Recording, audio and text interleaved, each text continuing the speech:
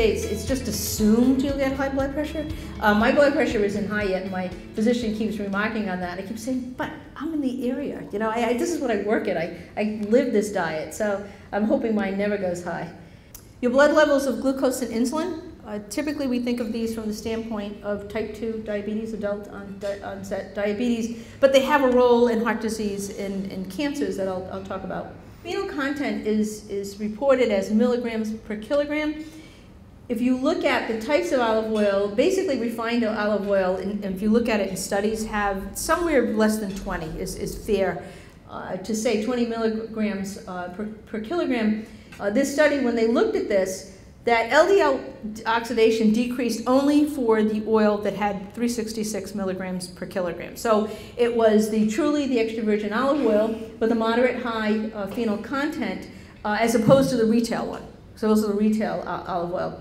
In this one, this is a high uh, content of phenols, uh, but compared it to, again, a retail type level, but this showed a decrease in DNA oxidation. So this is where I think that work needs to be done. This is where I think we need to educate our patients that you're using specific extra virgin olive oils and you're using um, specific levels of phenols. And this is, this is something that's going to come about. I think more and more people are going to, in the air, in the market, will do this because I think this is where we'll see uh, much more health uh, benefits.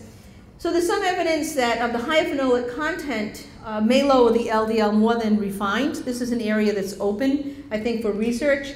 Um, what is definitely in the, is, is, very clear in the literature that the uh, HDL particle, the level will increase with extra virgin olive oil, and it increases uh, higher with the higher phenolic content and uh, this is the only thing I know that will increase HDL. I remember when I worked in the area in the 80s, people were trying to come up with drugs. They were trying to look at, you know, how do you change the particle?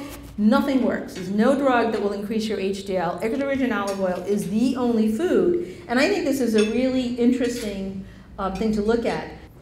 Then from blood pressure standpoint, compared to sunflower oil, two to three tablespoons of olive oil. This study uh, tested them after six months, so it's not clear how soon it happened. Uh, but two to three tablespoons of extra virgin olive oil uh, led to a significant decrease in both systolic and diastolic blood pressure. Most dietary interventions, you may know, will are more likely to change systolic. Diastolic's a little more uh, resistant to change.